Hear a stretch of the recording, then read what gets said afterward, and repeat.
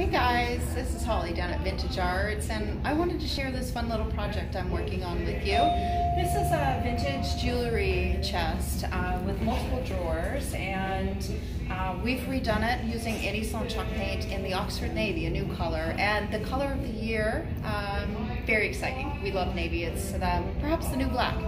This particular jewelry case is really special because when you open it up, it's got this beautiful pink blush color, and I'm, as you can tell, totally in love with blush this spring.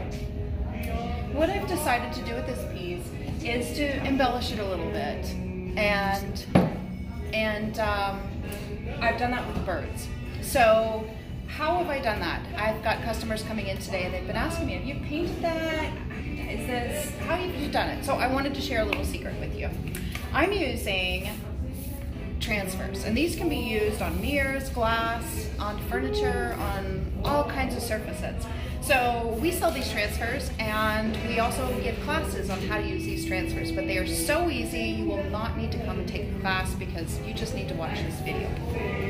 They come in this beautiful um, roll, and you simply open the roll, and if you're working on a piece that has drawers, I like to take the roll and cut it into pieces. So I'm gonna go ahead and put the next bird on. And what I did is I took that long transfer, I cut the bird from the transfer, and then I, I cut the bird into two pieces because I'm gonna put them across these drawers. So that way when I apply them, I'm not gonna have any problems. So I'm gonna go ahead and do that. The transfer works really nice and really easy. It's a piece of plastic and I just simply take off the backing and the image is on the back of the plastic. So I simply line up that transfer and I take my handy dandy tool, which really is a glorified popsicle stick, very technical guys, and I just simply rub it on. It's a rub-on transfer. It's nothing super technical. This isn't any kind of new technology. It's just a new way uh, for you to really embellish um, some old pieces and make them new again. And it really is that simple. Done.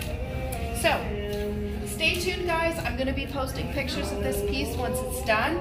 I really hope that this inspires you to take an old piece of furniture and make it new again, or do something fancy with it and give it to somebody you love. Happy spring. Stay tuned, guys. You're going to see a beautiful piece.